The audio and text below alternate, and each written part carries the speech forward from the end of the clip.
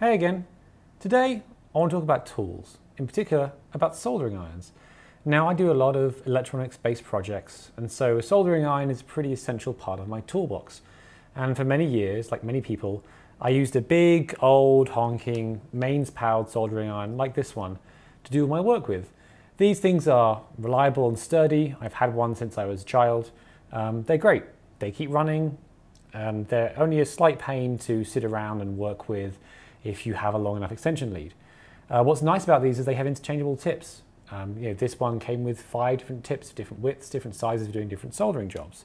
But sometimes you're just doing a lot of very small point soldering. And the eagle-eyed amongst you will have spotted in the last video that I was using one of these, a TS100. Now, I am a pretty recent convert to the TS100. I want to make a short video explaining to you why I like it so much and why you should probably invest in one if you're doing any kind of soldering seriously.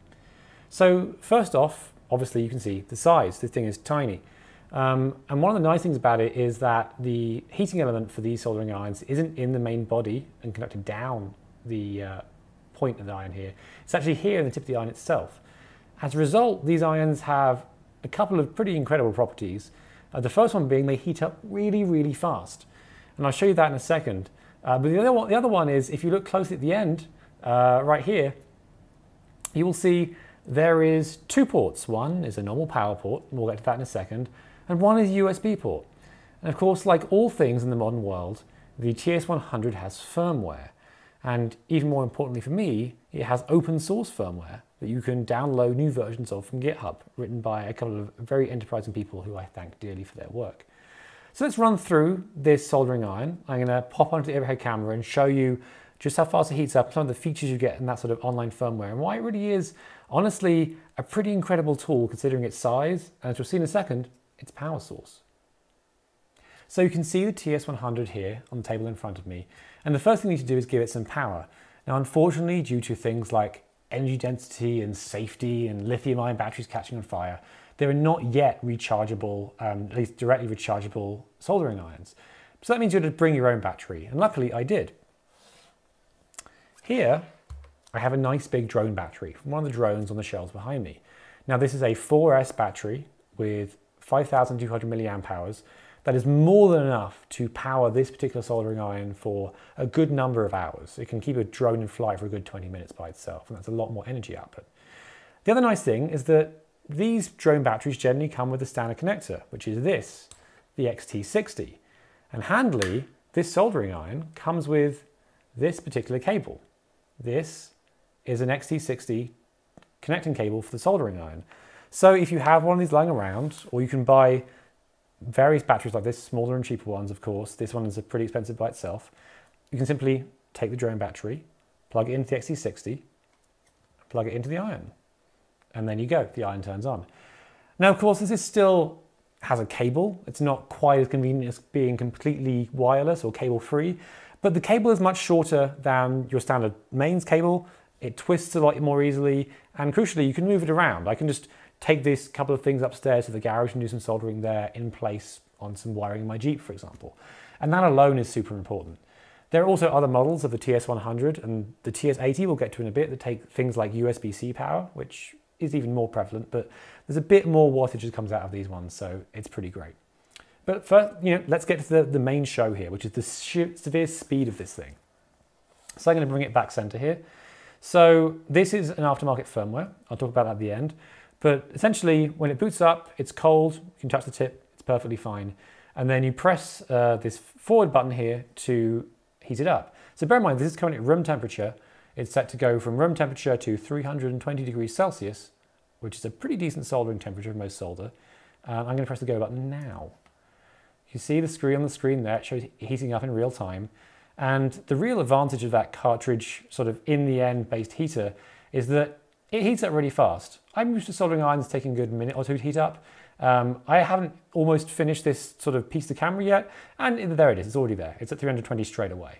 Um, that is the sheer advantage you get from having this kind of size and integration of heating in the soldering iron. It's great. The ability to just stick it on and let, let it come to life and let it heat up is fantastic. Even better, sometimes you just want a little extra heat for soldering. This firmware has a boost mode. If I hold down the A button, it'll boost up to 420 like this. You see, like it's a couple of seconds, it's already there. It's really fast. Let go of it, comes back down again. Of course, it loses heat pretty quickly as well. And that honestly is the main reason I use these things. They're just so fast. It's just really convenient. Even better, if you leave it alone, it has a motion sensor. So if I leave it idle for a good five, 10 minutes, and it's all configurable, of course, it will just sit there and power down to a lower temperature, I think it's 200-ish by default, to preserve some power and so it can boost up to 320 when it's ready. Of course, you can set the temperature. If I go in here, I can easily set temperature to in one degree increments. The thermistor on this seems pretty accurate and it heats up to the right temperature almost immediately. So it's really convenient for that sort of small, precise soldering you end up doing a lot on small electronics projects. And that's kind of honestly why I love it. So let's talk a bit about the firmware. Um, as I said, it's got firmware, it's flashable. It comes with default firmware that has basic temperature control, um, but this is aftermarket firmware. One of the nice things with this device is that flashing the firmware is pretty easy. You simply take the device, you hold down the forward button, you plug it into a computer via USB, and it appears as a USB drive. You drag the firmware file over, and the device disconnects, reboots, and says, yep, I'm good, and you flash the firmware. It's incredibly simple, and I kind of love when mass storage is used for firmware updates, for example, like on my watch here as well.